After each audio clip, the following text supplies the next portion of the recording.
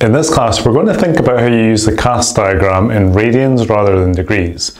So you can't get very far with trigonometry without seeing the CAST diagram, and you can't go very far without switching from degrees into radians. Quite a lot of trigonometry is done in radians, much to the dislike of students everywhere. But that then means that you've got to reconceptualize some concepts you've already learnt, like for example the CAST diagram in radians. So it's not particularly difficult, but it can be confusing at first.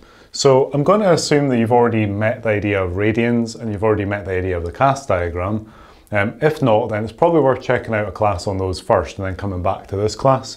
But basically we've got this thing that we call the, the CAST diagram, um, which is a way of checking where the sine and the cosine and the tangent function where they're positive and negative and we use it to solve uh, trig equations and for various other uh, purposes. So the CAST diagram, you know, looks like this. So at this point, I'll, I'll assume that you're familiar with the CAST diagram. So we draw the CAST diagram in degrees, 0 to 90 degrees for the first quadrant, 180 degrees, and then just carrying on all the way around, going up in these sort of 90 degree um, increments. So quadrant 1, 2, 3, 4. So the all quadrant, the sine quadrant, the tan quadrant, and finally the the cosine quadrant.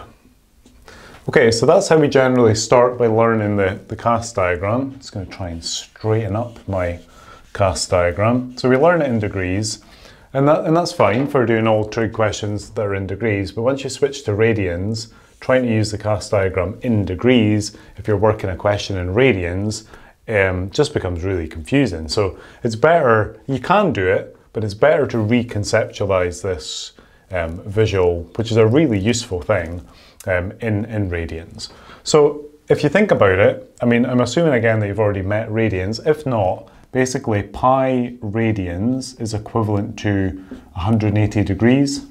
Okay, that's basically the key relationship between degrees and radians. So if you're not familiar with radians, that's where I'm going to be getting all the, the rest of what I'm going to talk about from. Basically, it's a way of converting, this is a way of converting degrees to radians, and radians are just another way of measuring angles.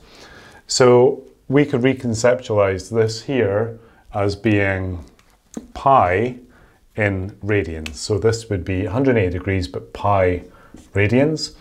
90 obviously is half of 180, so that must be half of pi. So we just call this guy pi by 2. And then 270 is 3 times 90, so it must be 3 times pi by 2. So that gives us 3 pi by 2 radians. And then by the time we get to 360, we've done a full circle. That would be twice 180, which is back to um, uh, 2, well, it's 2 pi uh, radians. So that, that's quickly how we convert our CAST diagram from degrees to radians. So it's not particularly difficult. But just remember as well that the number pi in the use here is still actually the number pi. So, you know, like approximately 3.14 blah, blah, blah. It is still the number pi. This is going to be an approximate symbol.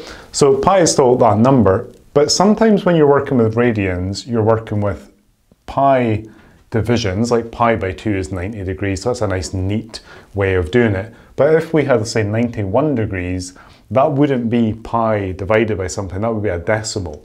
So although we write these in these compact pi forms, this is still 3.14. This is 3.14 radians. This would be half of that, and this is twice that. So sometimes when you're working a question, a trigonometry question, you're going to have what I call these like friendly versions of radians, these friendly pi multiples. But sometimes you're not. Sometimes you're going to have decimal versions of radians. And that's really why I'm making this class, right? Because that's where the confusion comes in.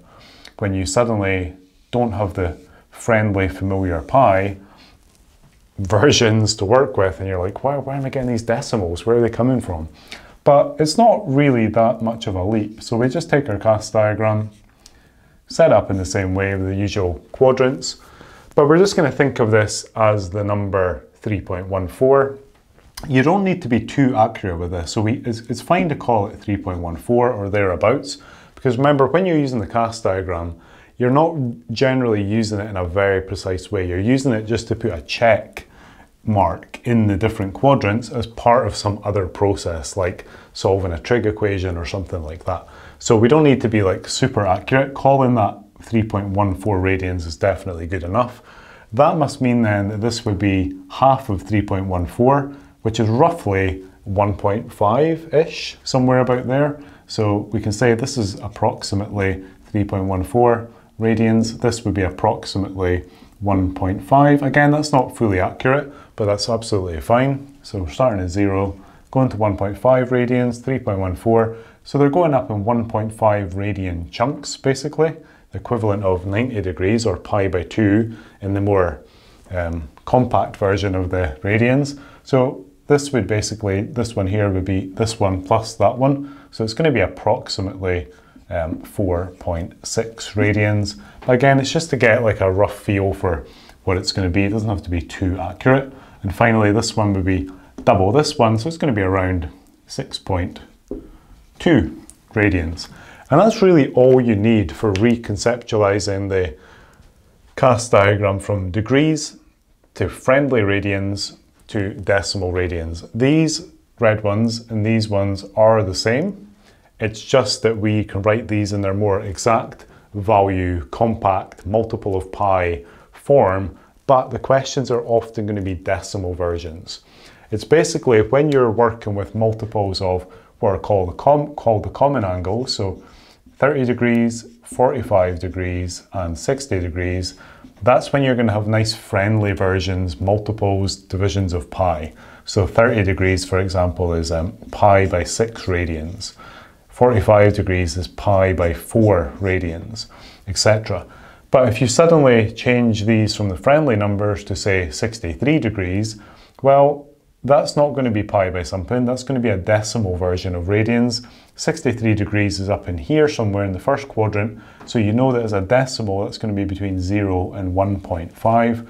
So this is probably going to be, yeah, like some, some number between those values basically um, in its radian form. Okay, so that's, that's all you really need to know, just how to reconceptualize the, the CAST diagram in degrees to friendly radians and also to their decimal, less friendly version of radians. Some students might argue that all versions of radians are non-friendly. That's probably a little true.